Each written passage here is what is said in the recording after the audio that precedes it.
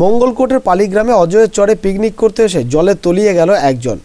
পরিবারকে নিয়ে পিকনিক করতে গিয়ে মর্মান্তিক দুর্ঘটনা। অজয়ের জলে তলিয়ে গেল তিনজন, উদ্ধার দুজন, নিখোঁজ হয়েছেন একজন। ঘটনাস্থলে উপস্থিত হয়েছে ডুবুরি। আশঙ্কাজনক দুজনকে নিয়ে যাওয়া হয়েছে বর্ধমান মেডিকেল কলেজ হাসপাতালে। পালিগ্রাম অঞ্চলের নবগ্রামের শেখ সুমনের পরিবার আজ পালিগ্রামের অজয়ের ধারে পরিবারের বারো জন মিলে পিকনিক করছিল। ওই পরিবারের তিনজন নদীতে স্নান করতে নামে। চোদ্দ বছরের সুমনা খাতুন, কুড়ি বছরের সোয়ানা খাতুন এবং ষোলো বছরের আসিফ শেখ। অজয়ের জলে নামতেই চোরাবাড়িতে তলিয়ে যেতে থাকে তিনজন। কোনো ক্রমে আসিফ পাড়ে উঠে চিৎকার করলে উদ্ধারে এগিয়ে আসে গ্রামবাসীরা ও পরিবারের লোকেরা। এরপর সোহানাকে উদ্ধার করা হয় আশঙ্কাজনক অবস্থায়। সুমনা খাতুনকে এখনও পাওয়া যায়নি। তড়িঘড়ি খবর যায় মঙ্গলকোট থানায়। আসে ডুবুরি ও ডিজাস্টার ম্যানেজমেন্টের দল।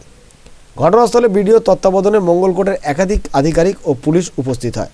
আশঙ্কাজনক অবস্থায় সোহানা খাতুন ও আসিফ শেখকে বর্ধমান মেডিকেল কলেজ হাসপাতালে পাঠানো হয়। পালিগ্রামের নবগ্রামে ওই পরিবারে নেমে আসে শোকের ছায়া।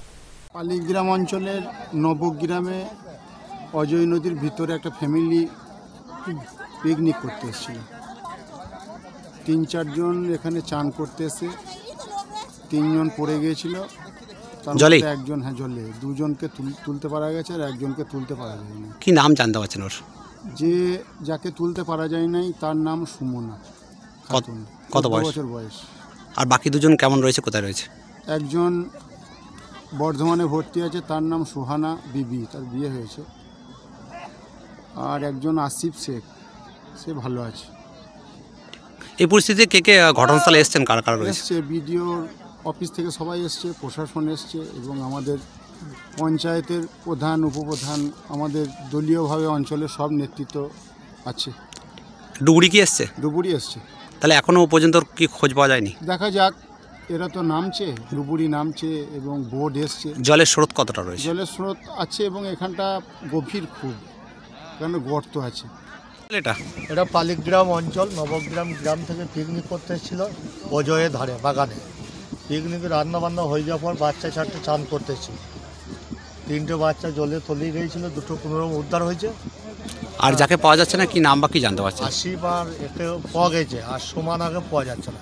সুমনা সুমন আগে। কত বয়স ওর? তেরো বছর। ঠিক ওদের বাড়ি কোথায়? নবগ্রাম। তো এখন এখন এখানে কে কে উপস্থিত রয়েছেন আপনারা? এখন আছে বিডিও স্টাফ আছে মঙ্গলকোট আইসি থানা থানার প্রশাসন আছে আর আমাদের পিচ বোর্ডের এরা বিধায়ক অপূর্ব চৌধুরী জানান খুবই দুঃখজনক ঘটনা। ওই পরিবারের সকল সদস্যকে তিনি সমবেদনা জানান।